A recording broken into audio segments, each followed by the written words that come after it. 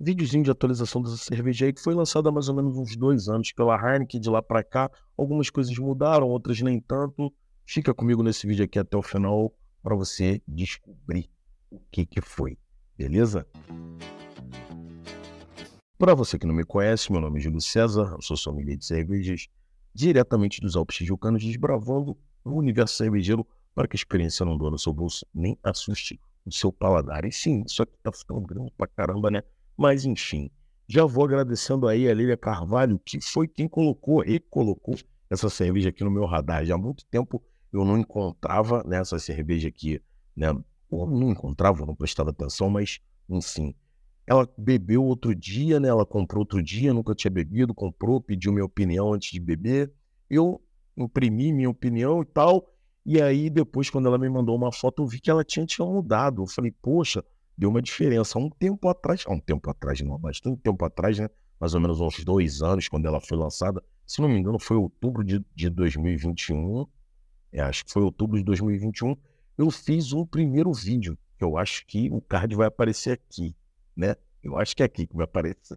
Eu fiz um primeiro vídeo dela e tal. Na época, reclamei da cor da latinha, né? Que pela minha idade avançada me atrapalhava muito, porque a latinha era branca, as escrituras eram eram prateadas. E agora a latinha já deu uma mudada, já deu uma melhorada aqui na questão aqui de, pô, de você enxergar, de, de né, das, das informações técnicas aqui da cerveja. Ela é uma cerveja de Singapura, né, lançada no, no, início do século XX, já pô, premiada em alguns festivais cervejeiros aí. Né, na época eu bebi e fiquei meio decepcionado com ela por conta do preço que ela estava sendo praticada. Né, ela, na época, se não me engano, eu comprei, ela tinha R$3,39 né? E hoje em dia eu reparei lá no mercado que a latinha já deu uma baixada de preço. Ou seja, pelo que eu bebi na época e pelo que ela custava, eu achava que não valia tanto a pena, mas agora ela já baixou um pouquinho de preço, está competindo ali no preço da Petra, da Itaipava e tal, enfim. Vamos ao fim.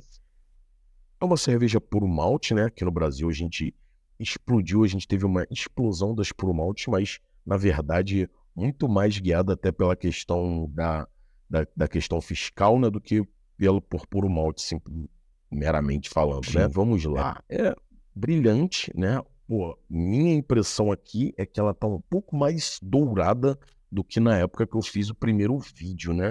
Aquela pegada bem brilhante, a cerveja dissipou um pouco mais rápido do que da outra vez, ou de repente eu que dei mole aqui na hora de servir também. Ah, outra questão, né? Copinho do cervejeiro quem é aqui do Rio for no Gastrobia, dá uma passada lá na Jéssica e ela vai te dar uma moral maneira lá no, no, no cervejeiro para você sair da sua zona Pilsen de conforto. Né? Na verdade, na sua zona American Light Lager de conforto, porque eu vou contar para vocês aqui que te enganaram a vida inteira, as, as cervejas que a gente bebe não são Pilsen, né? são American Light Lager, mas pode continuar chamando de Pilsen que não tem problema nenhum.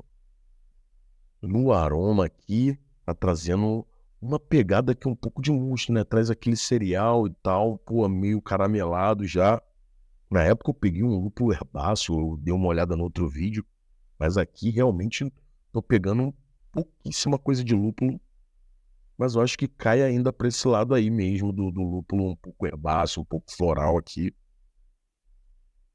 E olhe lá, e olhe lá, pô, Tô achando ela, a, da primeira vez, eu acho que ela até imprimiu mais aroma aqui, né? Não sei se em terras brasileiras ela já tá dando uma, uma pegada aqui de cereal, né? Já partindo já para um, um caramelozinho, que pode até ser uma, uma oxidaçãozinha já e tal, mas a, eu acho que essa daqui tá mais pobre em aroma do que da, da versão do outro vídeo, tá?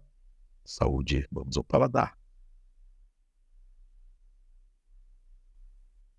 Melhorou a lata, né? A lata deu uma melhorada bastante tal. O preço, principalmente, deu uma melhorada bem bacana e tal. Só que eu acho que a cerveja. Bom, não sei se eu estava impressionado pelo lançamento e tal. Mas, não, na época eu também fiz uma comparaçãozinha delas ali e tal.